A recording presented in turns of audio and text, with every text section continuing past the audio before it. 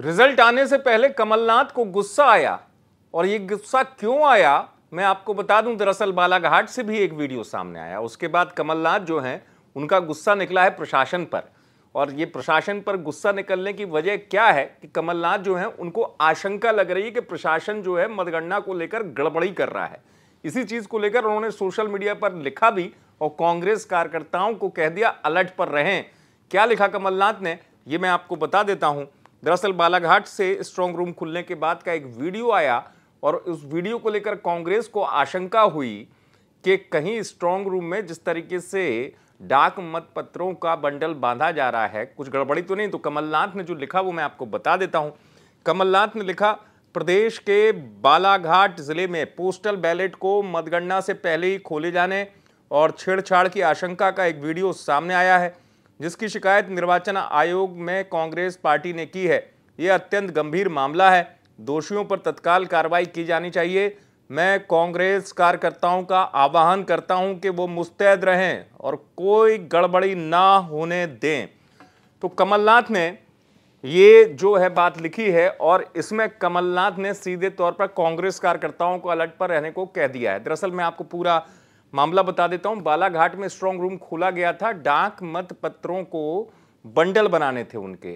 तो उसी को लेकर बात सामने आई कि प्रशासन ने ऐसे कैसे स्ट्रांग रूम खोल दिया और इस तरीके से मतपत्र जो है बिखरने हुए नज़र आए, वीडियो जो शेयर किया गया। लेकिन बाद में प्रशासन ने भी हालाँकि इस मामले में कहा, कांग्रेस के स्थानीय कार्यकर्ता भी वहाँ पहुँचे थे। तो ये बात सामने आई कि नहीं, कार्यकर्ता संतुष्ट हैं, क्योंकि ये बात कही गई कि प्रशासन ने सूचना दी है दोनों ही दलों के एजेंटों को कि वो आए उस वक्त जब स्ट्रांग रूम ये खोला गया था, प्रशासन का तर्क ये भी था कि सीसीटीवी कैमरे लगे हुए हैं, सब कुछ देखा जा सकता है। लेकिन हाँ इतना ज़रूर है कि जिस तरीके से ये वीडियो सामने आया, उसके बाद कांग्रेस में हलचल बढ़ी।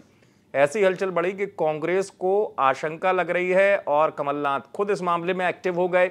उन्होंने सीधे तौर पर इसे गंभीर मामला बताते हुए प्रशासन पर सवाल खड़े किए हैं।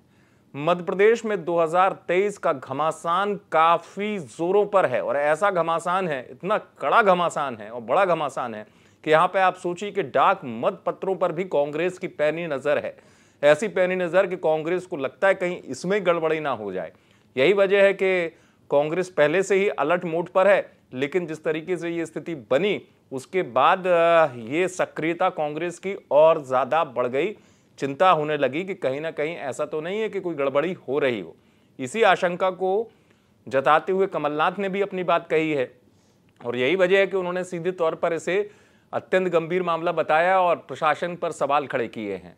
दरअसल जिस तरीके से स्ट्रांग रूम खुला, जैसे मैंने आपको बताया कि शुरुआत में ऐसा लगा, बाद में हालाँकि ये बात स्पष्ट भी हुई कि कांग्रेस के जो स्थानीय कार्यकर्ता हैं, जो प्रत्याशी वहाँ पहुँच गए थे।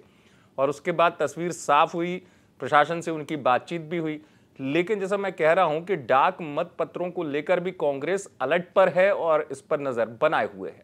आप देखते रहें एमपी तक।